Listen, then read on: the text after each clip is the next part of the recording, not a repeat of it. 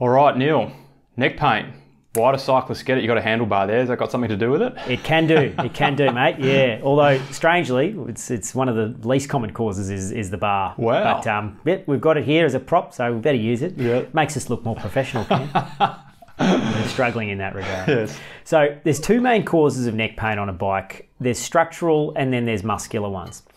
We'll go over the muscular ones first. The muscular, the etiology, I guess the causation of, of a lot of neck pain, I would say that this is by far the most common cause of neck pain, is too much weight on your hands. Exactly the same reason why a lot of riders get numb hands.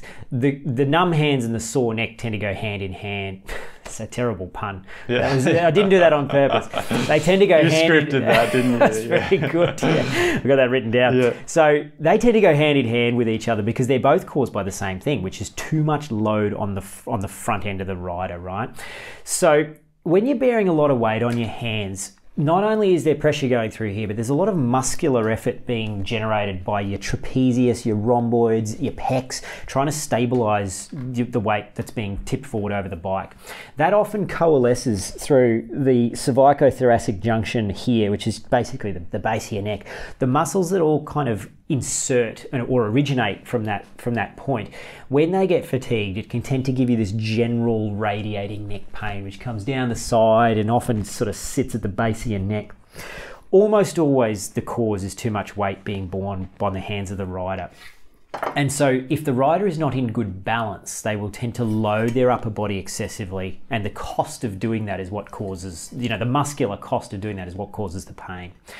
So people will often come in and they go, oh mate, I've had this, I can't get rid of this neck pain. I've tried raising the bars and lowering them and moving them away, coming in, still get the pain.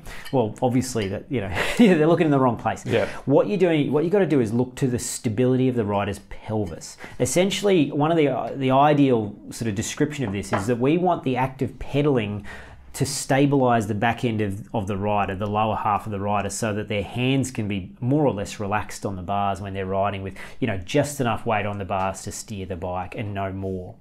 So, most often, if you've got neck pain for this reason and you feel very heavy on your hands, you got to look at the back end of the bike for the causation. Too much weight on the hands, the most common causes, if the seat is too far forward, you'll, you'll we cantilever it onto the front end of the bike. So try moving the seat back.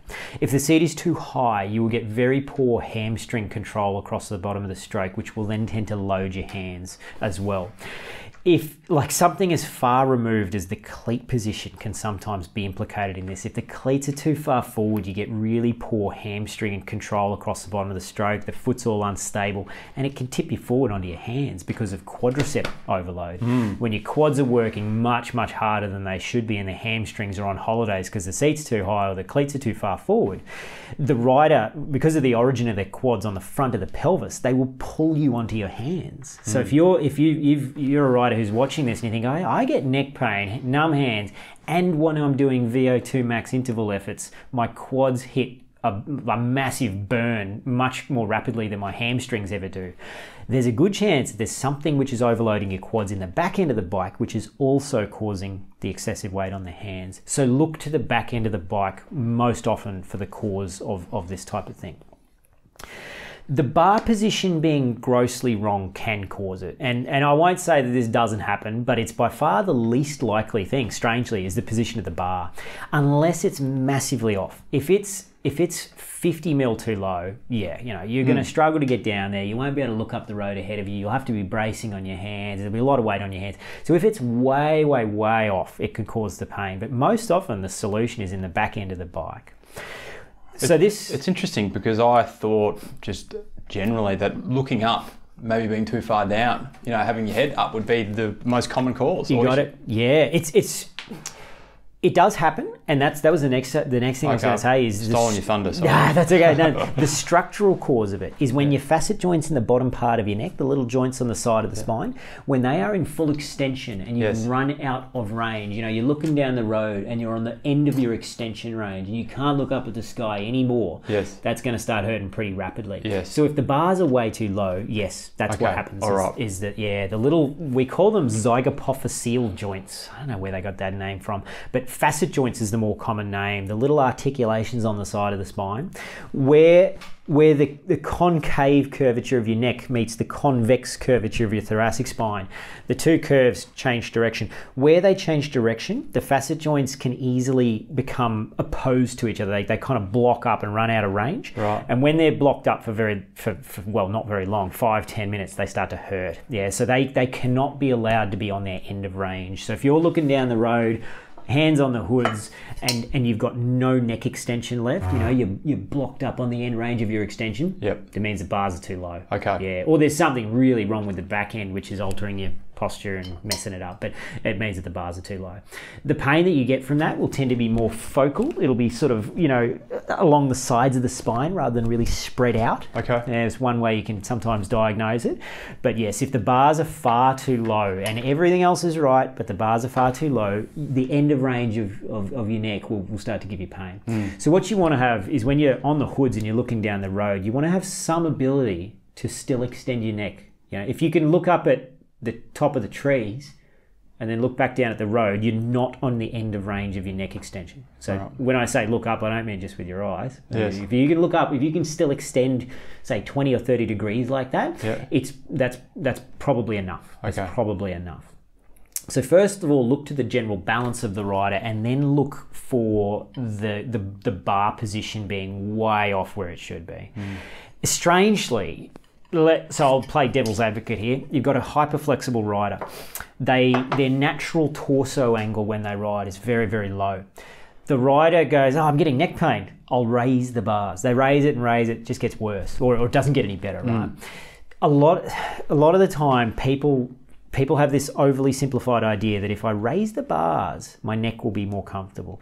Not always the way. Most often, what happens in a situation like that, the rider's torso will remain low, the bars will come up, and they will, instead of riding with a nice relaxed upper body position with the bars too close to them, they'll prop themselves on their arms. So they'll lock their elbows out, load their, their trapezius and their neck musculature. They'll get neck pain because the bars are too high, hmm. which sounds sounds weird, but it's actually surprisingly common. I think once or twice a week I get a rider who's above averagely flexible.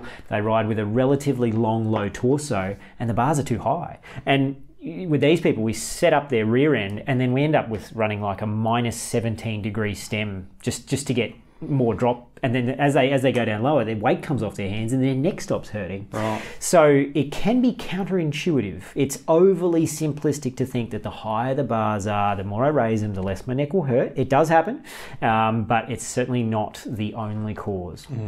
I would say it's probably a 50 50 mix of when riders come in to see me of the bars being too high or too low. It's not often that they're far too low. Right. Most people have already, by the time they got to me with a sore neck, they've already tried raising it. And it hasn't solved the problem. Mm. And sometimes, you know, they leave there with a crazy 20 degree stem, you know, just to get their bars low enough. And they go, oh, gee, my neck doesn't hurt anymore because there's no weight on my hands. Right. So it, it very much, if, if you're a hyperflexible rider who likes riding with a long, low torso, do not be afraid to go low in the front end, mm. you know, and, and get up over 100 or 120 mils of drop to the bars because that, that may be the, the causation behind your neck pain is actually the bars are too high and too Right. close to you. Yeah. And so therefore you're propping yourself on them. Mm-hmm. Yeah.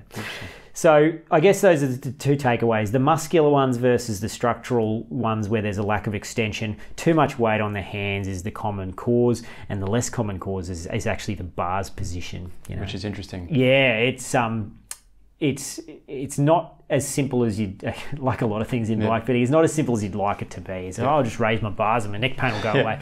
Sometimes the solution is actually the exact opposite: to lower the bars, or to you know to move your cleats further back, or to lower their seat a bit, to so that your pelvis is more stable. So, yeah.